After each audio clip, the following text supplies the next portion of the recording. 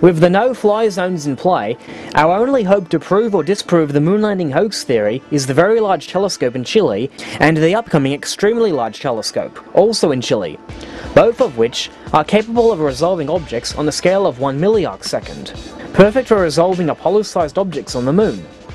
Astronomer Richard West had stated in 2002 that he plans on using the VLT for just that.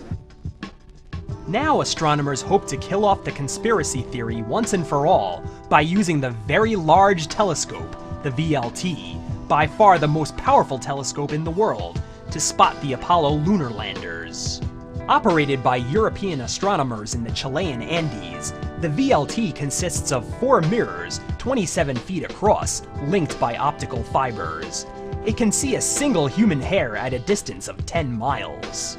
Trained on the moon, such astonishing resolution should enable it to see the base of one or more of the six lunar modules, which NASA insists landed on the moon between 1969 and 1972. Any images of the modules would be the first not to have been taken from space by NASA. Dr. Richard West, an astronomer at the VLT, confirmed that his team was aiming to achieve a high-resolution image of one of the Apollo landing sites. The first attempt to spot the spacecraft will be made using only one of the VLT's four telescope mirrors, which are fitted with special adaptive optics to cancel the distorting effects of the Earth's atmosphere. A trial run of the equipment this summer produced the sharpest image of the moon taken from the Earth, showing details 400 feet across from a distance of 238,000 miles. The VLT team hopes to improve on this, with the aim of detecting clear evidence for the presence of the landers. The base of the lunar modules measured about 10 feet across, but would cast a much longer shadow under ideal conditions. Dr. West said that the challenge pushed the optical abilities of one VLT mirror to its limits. If this attempt failed, the team planned to use the power of all four mirrors. They would most probably be sufficiently sharp to show something at the sites, he said.